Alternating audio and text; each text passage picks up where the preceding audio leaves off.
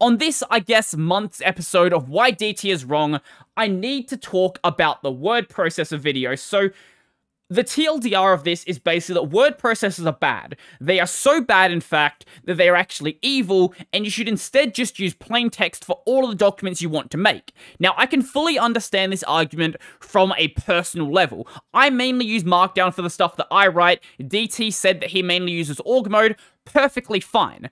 But the arguments he made for why other people should do so, many of them are fundamentally flawed, and some are just flat out misinformation. One thing I do want to say is I don't think DT is trying to mislead people. DT seems to have this habit where he makes videos that he doesn't exactly research what he's trying to say, and that leads to a lot of things he says being I guess, wrong. I make the same mistake, I'm not saying I'm immune from it, I'm just trying to set the stage. His first argument went, when you use a word processor, it's very easy to get distracted because rather than just focusing on writing the document, you're going to worry about things like typesetting and fonts and images and tables and all of that extra stuff that just makes the document look nice. Whereas when you write in plain text in a text editor, you're just focusing on the text, and then if you need to format it like, say, a research paper, you can go back afterwards and then format it with something like, say, LaTeX. I don't think this is a problem with word processors whatsoever. This is 100% a problem with DT being easily distracted. I absolutely suffer from the same thing. That's why when I'm like planning out a video, I have to force myself not to look at YouTube because if I do, I'm gonna stop working and focus on that for a while. But the problem with formatting doesn't just exist only in a word processor. So if you're writing a document in, let's say, LibreOffice Writer, you can write that entire document in the default font and then at the end, go and format everything. Likewise, if you're doing something in plain text and you want the document to be formatted in LaTeX while you're actually writing it, sure, you can just write the document, but you can also format it in LaTeX as you're actually writing. It entirely depends on your writing workflow, and some people can absolutely make their workflow more efficient. My favorite argument in the entire video is that plain text is always going to be plain text. In a hundred years, it'll be the exact same thing, and you never have to worry about compatibility issues. This is very, very wrong. Now, plain text is a weird sort of idea. So plain text is more of a concept than a standard. It's not wrong to say that the idea of writing out text that isn't formatted is always going to be the same conceptually. But on the computer level, plain text has changed multiple times. If you know the absolute basics about computers, you know that everything is based around binary. So when you press, say, like the letter A on your keyboard, that letter A isn't actually being stored in memory as the symbol A. It's being stored as a sequence of binary symbols, but it's not always being stored as the same sequence. So one of the ways you can encode symbols is with a standard known as ASCII. Now ASCII works perfectly fine for English, but other languages out there have wildly different character sets. Take something like Japanese, where rather than just having a alphabet that has 52 symbols with the lowercase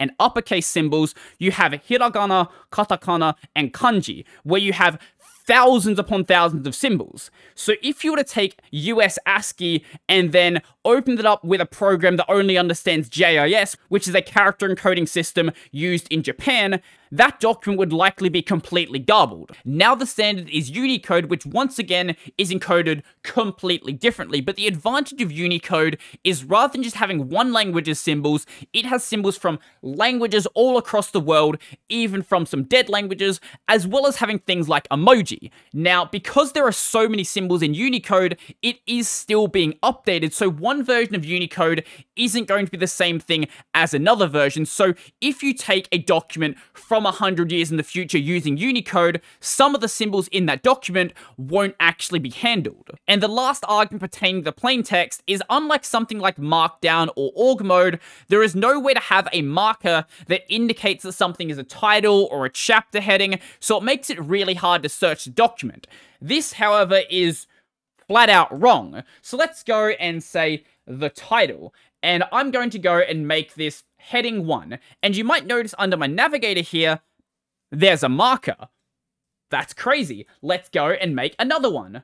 let's go and make this heading 2. This one is actually nested under the first heading. Very easy. Yes, you're not searching in the same way as you would with more Unixy tools, but to say that you can't search is just wrong. Now, this is a fun one.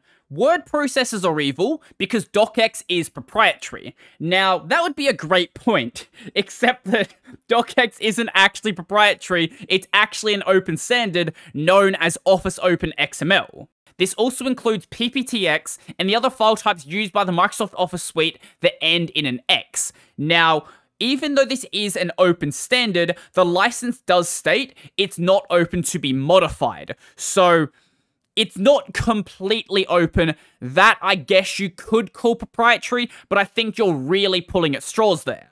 But let's just pretend it actually is proprietary. LibreOffice uses a different standard known as Open Document. This is how you get things like the ODT files used by LibreOffice Writer. Open Document is completely open. DocX replaced the doc standard in Microsoft Office in 2007, and the doc standard used for 30 years prior actually was proprietary. If it's an open standard, why does LibreOffice sometimes have trouble rendering it? Well, it's a very big and very complex standard, and when you have something like that, bugs are going to crop up here and there. A weird argument he made was that word processors were created before FOSS existed by proprietary companies, and I guess he's trying to say that therefore future word processors must also be tainted by its origin. But he fully acknowledged that LibreOffice does exist, and he actually uses LibreOffice, so I don't know what point he was trying to make here, but by this logic, Linux is also evil because it stems from the proprietary Unix. Calling things evil serves absolutely no purpose and doesn't mean anything unless you actually have reasoning behind it. The last argument I want to address is that everybody knows plain text is better and they know it's more efficient, and this could not be further from the truth. So I went through a software engineering degree where in university, writing research papers with LaTeX is basically just the standard. But I was probably one of a handful of people that even knew that LaTeX even existed. When we got to our final year and we're actually writing papers, nobody even knew that was a thing. Sure, they knew Markdown existed for writing things like GitHub issues, but they'd never consider writing an entire document like that, and this is with people that actually are well versed in computing. If you take this out of that space and just go to like a general office, nobody's gonna know at all that you can write an entire document in plain text and have it actually be rendered nicely.